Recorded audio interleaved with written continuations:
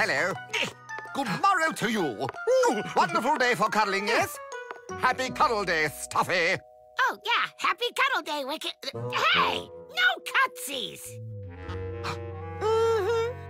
Oh, beansickles. Don't worry, Wicked King. Lambie has enough cuddles for everyone. That's right. I'm ready for the cuddle of the... Bless you, sugar. Oh, thanks. Now, who's first? Me, me, me, me, me, me, me, me. Okay, one big... Let's try this again. You know, I don't remember her cuddles being so sneezy.